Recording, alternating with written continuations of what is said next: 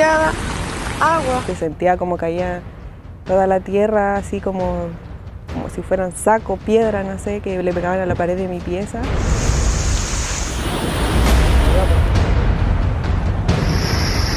El badén se cortó, ahora recién bajó un poco el agua, pero tenemos 30 parcelas para arriba y más que no pueden bajar porque el camino no da acceso. Esto estaba seco, si era una era parte del terreno y estaba totalmente seco.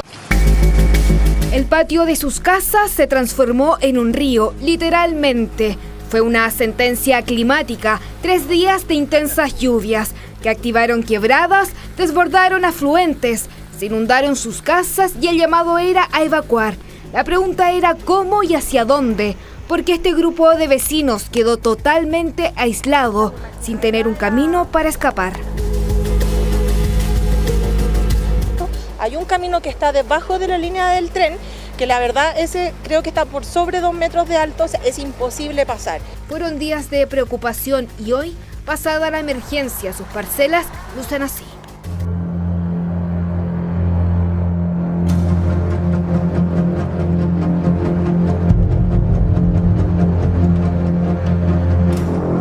Son los socavones de los que nadie habla, esos que no llenan portadas ni han tenido un desfile de autoridades, pero que afectan a miles de vecinos de este sector. La entrada de la parcela se desmoronó, entonces estábamos acá completamente sin salida, no podíamos sacar los vehículos, estaba la familia acá, los niños chicos. Bueno, esta es una puerta que, que salió de allá también.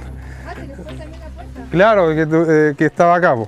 Que todo esto, si se fijan, se vino todo el cerro completo para acá, con barro, con todo, y llegó hasta la casa yo. ¿eh? Se encuentra la casa de mi cuñada, está tapando la mitad ya. La familia Omaña es una de las tantas afectadas. Felipe, junto a sus hermanas, compraron este terreno de 5.000 metros cuadrados y emplazaron sus tres casas. Para todos es su primera vivienda y esperaban que fuese su lugar definitivo. Viniendo hacia el aluvión de arriba. Y prácticamente este es un esfuerzo de que, de que es para toda la vida, entonces uno no espera que, que pasen estas cosas o que tengamos una quebrada acá al lado. Porque denuncian que al momento de comprar nunca les advirtieron que en su terreno se cruzaban dos quebradas. La sequía les escondió el peligro inminente de derrumbe. Entonces cae agua justo por ahí y tenemos la otra quebrada allá. Que son dos que nos atacan justo en esta parcela. Cae todo acá. O sea, nos vendieron algo que, que realmente está en peligro. pues. Lo más factible y lo más seguro para todos, creo, es que nos reubiquen. La madrugada del 21 de junio nadie los ayudó a evacuar. Estaban solos contra el agua y hoy lucha también en solitario con las secuelas. Pero, ¿cómo llegaron estas familias a vivir acá? ¿Qué les ofrecieron? ¿Te gustaría vivir en el campo, pero seguir teniendo muy cerca todas las comodidades de la ciudad? Con Coterránea es posible. Hay que hacer un mea culpa. Uno no sabe lo que está comprando porque se ve lindo. Pero ninguno de nosotros es conocedor de lo que está comprando hasta que pasan este tipo de cosas. Es una problemática que se hace patente en Limache, porque escuche bien, de casi 3.000 predios ubicados en el área rural, 2.207 no cuentan con permiso de edificación, de acuerdo a un informe de Contraloría. Es decir, el 77% de estas casas se emplazan en zonas de riesgo como incendios, remoción de masas, avalanchas, desbordes, y también muchos de sus suelos estaban destinados para otro uso, el agrícola o sitoeriazo. El alcalde de la comuna, Daniel Morales, asegura que existe un problema con el plano regulador que hace 10 años no se actualiza. En tiempos de escasez hídrica, hoy día la gente se instala donde hoy día prácticamente no hay agua. Y si nosotros eso estuviera regulado, y esta es una atribución que tienen los gobiernos regionales, no son los, municipios los que ven los planos regula- reguladores intercomunales. Entonces, si hubiera una planificación, esto se habría eh, quizás anticipado o se pudo haber previsto.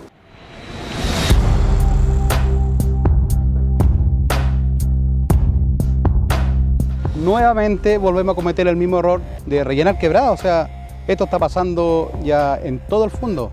Tenemos quebradas rellenas con, con, con maicillo, se rellenó con puro barro. O sea, esto es una burla para los vecinos. Terrenos que son difíciles de habitar y urbanizar, no cuentan con permisos de edificación, tampoco tienen agua y se exponen a graves riesgos. El Centro de Investigación para la Gestión de Riesgo de Desastres sostiene que, al estar insertas en un bosque con pendientes, corren el serio peligro de sufrir desprendimientos de tierra. Acá debió haber existido un plan de drenaje de aguas lluvias. Se empieza además a deforestar, digamos, para poder construir, se empieza a eh, cortar árboles, desmalezar, etcétera, abrir el terreno, van a favorecer eh, posibles flujos rápidos, posibles desprendimiento de tierra, sobre todo cuando están erosionados o cuando no tienen esta, esta protección de la cobertura vegetal, que sí la tienen en las zonas que no han sido todavía intervenidas. Son los socavones de mediana escala invisibles, un problema que también se traslada hacia otras zonas. Probablemente los quienes están aquí pueden quedar aislados, probablemente los caminos se van a cortar, pero las inundaciones más importantes van a estar siempre hacia aguas abajo de esas urbanizaciones. Vivir en una parcela de 5.000 metros cuadrados es posible con Inmobiliaria Coterránea. Con un pie desde 6 millones y cuotas de 480 mil pesos, puedes contar con tu terreno. Estas subdivisiones en sectores de Levo y Borrisqueros fueron aprobadas por el SAC, entidad que debió informar a la Dirección de Obras Municipales la venta de estos terrenos para fiscalizar que aquí no se construyeran viviendas. Pero esas informaciones llegaron bastante de manera bastante tardía. Todavía estaban construidas las viviendas. En su gran mayoría. Las direcciones de obra finalmente se encuentran ante hechos consumados, con viviendas instaladas y toman conocimiento de manera muy tardía que esas, eh, esos suelos fueron modificados en su, en su objetivo o en su finalidad. En teoría, el municipio tiene la facultad de ordenar la demolición de todos estos predios, pero ese sería el peor escenario según los vecinos. Por lo pronto, buscan regularizar.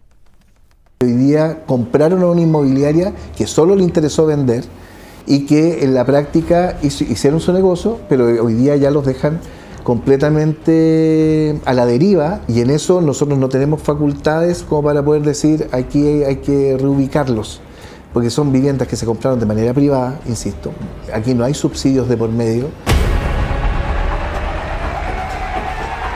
Mientras vecinos trabajan a pulso sacando todavía el barro de sus terrenos para que sus casas no sigan cediendo, buscan respuestas ante la inmobiliaria coterránea. A quienes le pedimos una entrevista, pero no se demostraron disponibles. Fuera de cámara aclararon que solo se dedican a vender parcelas y que lo que haga cada vecino posteriormente no es problema de la empresa. Son los socavones que nadie ve, un escenario lleno de incertidumbre, un proyecto de vida en estas parcelas que se derrumba, tal como sus terrenos.